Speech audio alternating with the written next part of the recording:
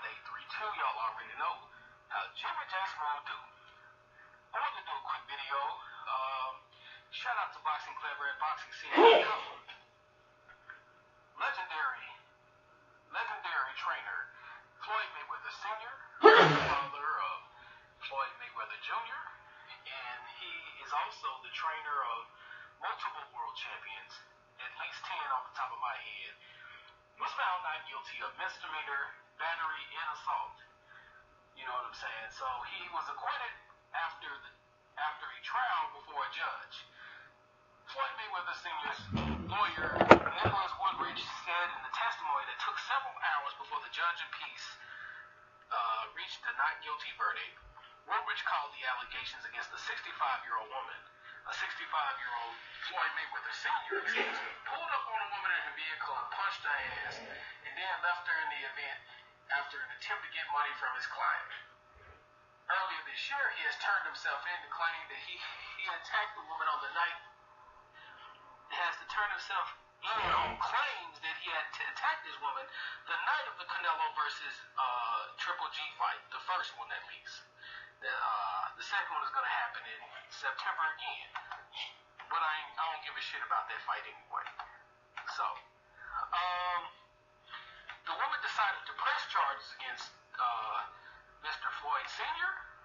and and an, and an outstanding warrant was issued out for him. He eventually turned himself in and pleaded not guilty. He's also due, he was due back in court on March the 27th. As previously reported, the alleged victim was headed towards Floyd's car when an argument dragged out. Uh, Floyd allegedly told the woman to get get out of the car, but she refused.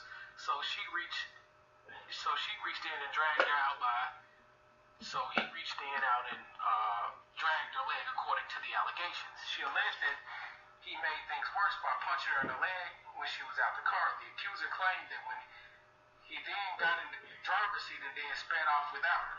The woman was hospitalized with minor injuries.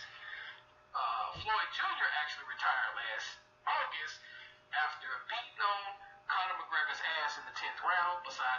He's trained several other fighters over the years including uh, Oscar De La Hoya, Andrew Tabini, uh, Ricky Hatton, Chad Dawson, just to name a goddamn few. He also currently trains a staple of fighters, including up and rising prospect Devin Haney.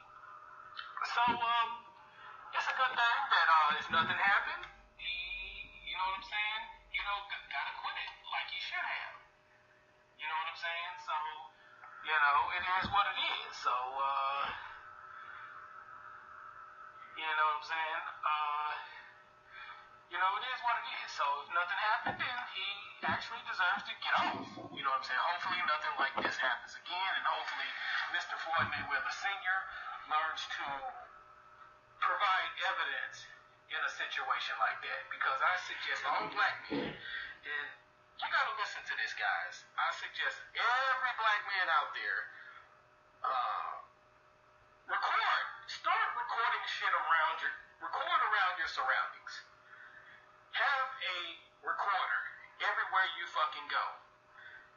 Uh, if you gotta get a camcorder, that's cool. A body cam, that's cool.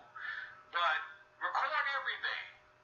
You know what I'm saying? So you can cover your ass. And I'm glad Floyd Mayweather Sr. is able to cover his ass. But cover your ass as black men. I'm telling y'all this. I'm not telling y'all this for health and health and rhyming reasons.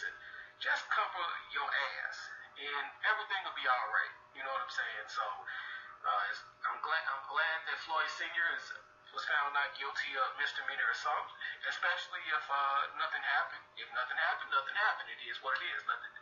Uh, justice system upholds the law, so it is what it is. So once again, it's your boy, live and direct, and